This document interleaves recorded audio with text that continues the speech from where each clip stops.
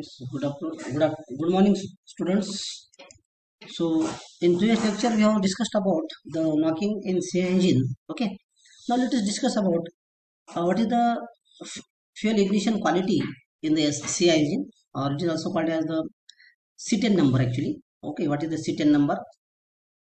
So, fuel ignition quality, the ignition characteristics of the fuel affect the ignition delay. Okay, the ignition quality of a fuel is defined by its cetane number. Remember, in diesel engine, the quality of the fuel is indicated by the number that is called as cetane number. Okay, for low cetane fuels, the ignition delay is long and most of the fuel is injected before the auto ignition and rapidly burns. Under extreme cases, this produces an audible knocking sound referred to as a diesel knock. Okay, so remember this. If the uh, this particular cetane numbers are very much lower, then what will happen? The tendency of the knocking may arises. Okay, for high cetane fuels, the ignition delay is very short and very little fuel is injected before auto ignition.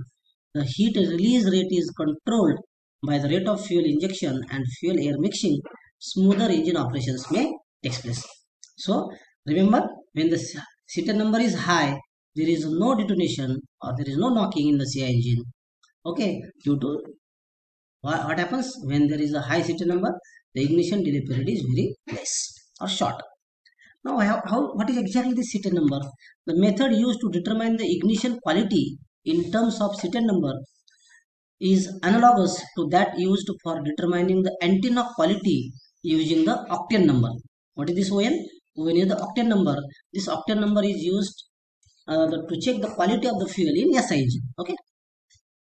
The cetane number scale is defined by blends of two pure hydrocarbon references uh, reference fuels. So by definition, isocetane. Okay. What is meaning of this isocetane? This is or also called as heptamethyl na- uh, nonane. Heptamethyl nonane. Okay, HMN heptamethyl nonane has a cetane number of 15 and C and cetane N hexadecane. Okay, N hexadecane that is C16H34 has a value of 100. Okay, remember that. So that means meaning of this is the N hexadecane uh, that is C16H34 which is having higher cetane number that is 100. Okay. In the original procedures, a methyl naphthalene that is C11H10 with a cetane number of 0 represented the bottom of the scale. This has since been replaced by HMN. Okay, what is this HMN?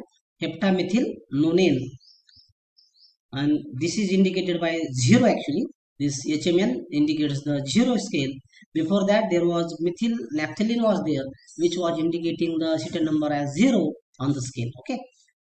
Uh, which is a more stable compound. The higher the cetane number, the better the ignition quality, that is shorter ignition delay. Now, how to measure the cetane number? Cetane number measurement. The method developed to measure cetane number uses a standardized single cylinder engine with variable compression ratio. The operating conditions we have to take that is at inlet temperature must be of 65.6 degrees Celsius, speed must be 900, spark advance in degree uh, before TDC uh, before top dead center okay that is 13 coolant temperature 100 degrees Celsius injection pressure that is in megapascal 10.3 okay. So cetane number measurement uh, with with the engine running at these conditions on the test fuel the compression ratio is varied uh, varied until the combustion starts at uh, top dead center. Ignition delay period of 13 degree. Okay. The above procedure is repeated using blends of cetane and HMN the blend that gives a 13 degree ignition delay with the same compression ratio is used to calculate the test fuel cetane number. Okay. And this is the graph for uh, cetane number versus octane number. That is the octane number and cetane number of the fuel are inversely correlated. Okay so if you see this particular dot right? So these are the octane number uh, sorry these are the octane numbers and these are the cetane number lines okay?